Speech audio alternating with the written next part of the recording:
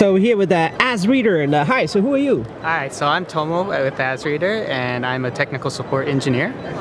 And, and hi. Hi, Paul, VP with AsReader.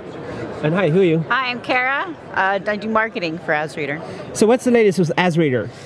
Um, right now, we have a variety of barcode scanners and RFID readers, um, including this fancy gun right here. It does barcode scanning and RFID reading. Um, So do you have lots of customers around the world? and Lots of things going on? yes, so we are in the U.S. and our headquarters is in Japan. Um, and you know we're looking to broaden our, our U.S. Uh, our products within the U.S. So all of our devices um, fit on a primarily on an iPhone. So it's right here in the back. So there's a system going on right here. And uh, what, what's the latest uh, stuff you, you, you are launching? Sure. You have So you saw this the last show where we connect with magnets. That's a magnetic USB 2.0 connection. So that's not just power pass through, but also data. So rather than doing a Bluetooth connection like most devices use, we're completely hardwired. So once you put that on there, it's paired. You don't need to worry that you're accidentally pairing to your partner scanner or something like that.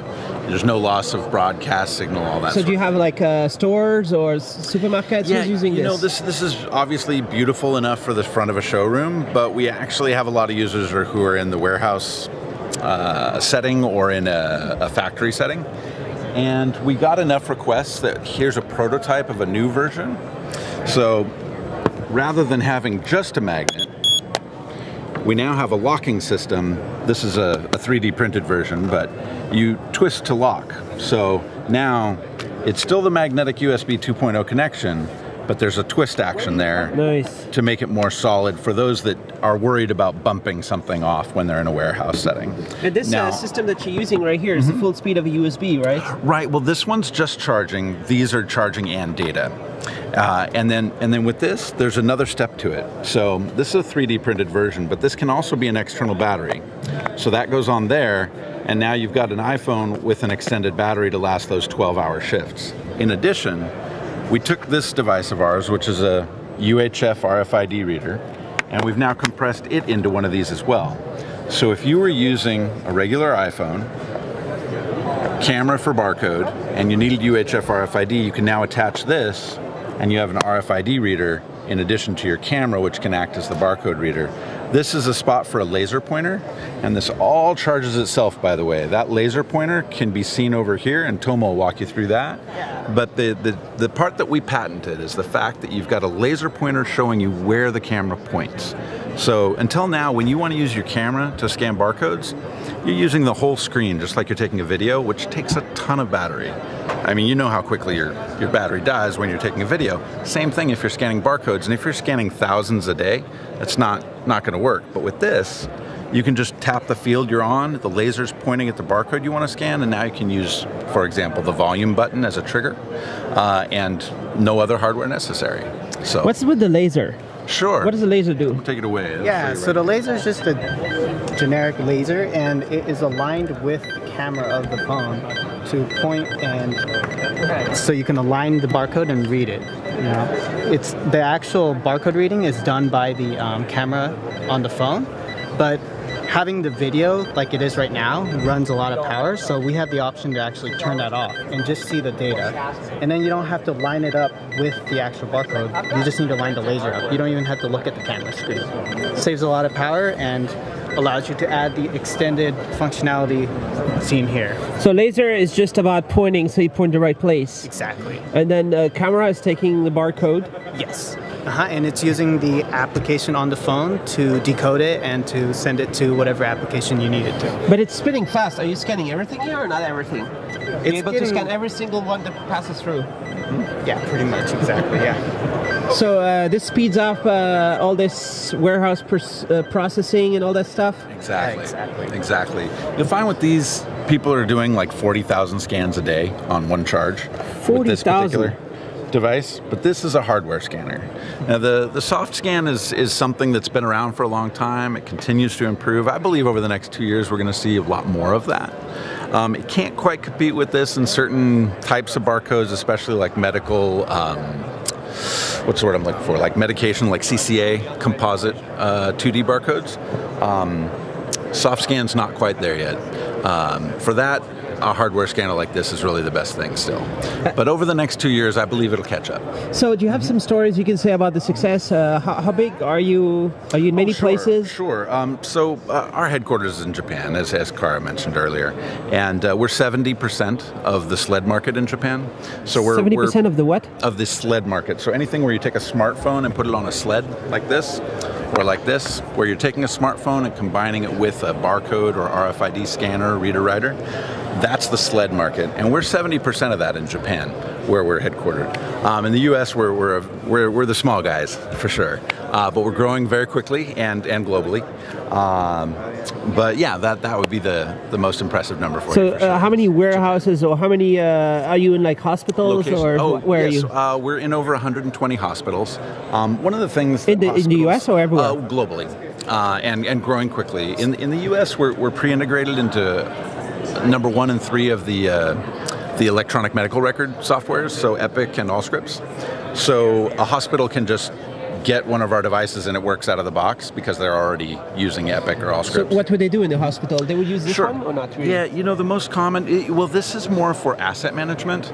Um, these devices here are what are more used for patient management or medication management. So the doctor has one? Uh, the not usually nurse? the or doctors, usually nurses. The nurse? And what they're doing is they're doing a three-point check. So they'll scan the ID bracelet of the person and scan the IV drip, make sure the right person's getting the right medication.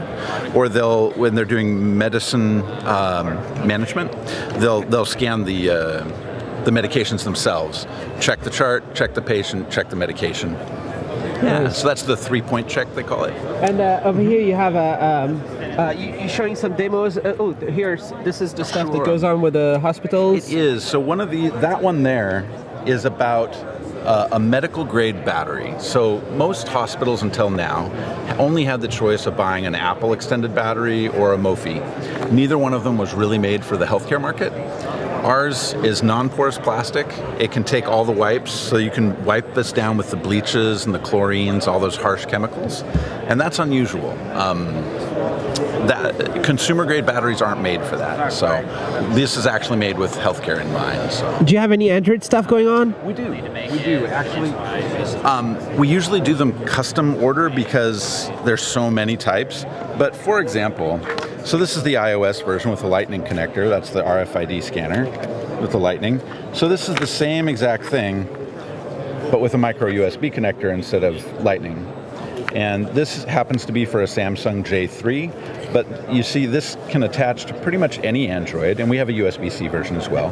But this goes to any one, and then we just make a different case to fit it. Sometimes uh, one- for the Android you might make them more elastic or something because Right. it's different sizes. Exactly, and this is a case where we custom made one for a customer. This is Sagawa in Japan. They're kind of like the FedEx or UPS of Japan. Um, and they wanted a device that did 1D scanning. This is actually made for a Kyocera phone. I put a Samsung in here just to show it. Um, but this one can drop 21 feet. So we've tested throwing it off buildings that are seven meters high to concrete. And uh, it, it really does take a licking. nice.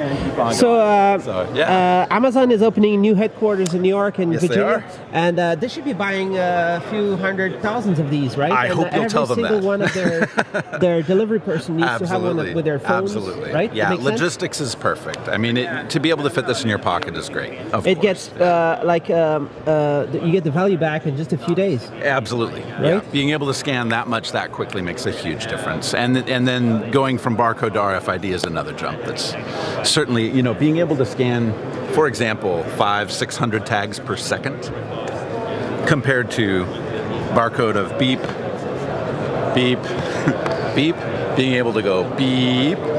There's a lot to be said for that. And around here, this conference, there's lots of uh, flexible electronics, There and they do lots of RFID tags. And like, the, Yeah. they- like some of these companies make billions of them. Pretty amazing, so yeah. it's a very compatibility. That, Yes. Is that why you at the IDTechEx show?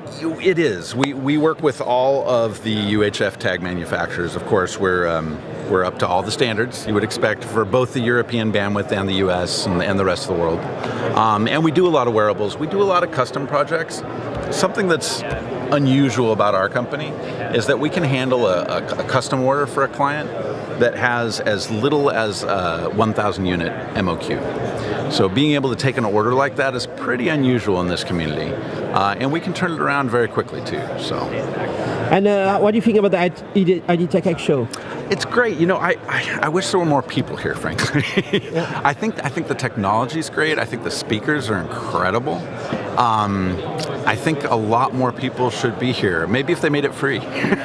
this is uh, this is like yeah. uh, what's it called? Uh, mm-hmm. groundbreaking technology that people need to know about this. Right? I agree. I completely There's so many agree. Cool exhibitors there really here. are. They really are. I'd like to take more time to walk around listen to more speakers and be at more booths. But it's a terrific show. Yeah, it, it, it definitely should be more attended than this. Yeah, no question.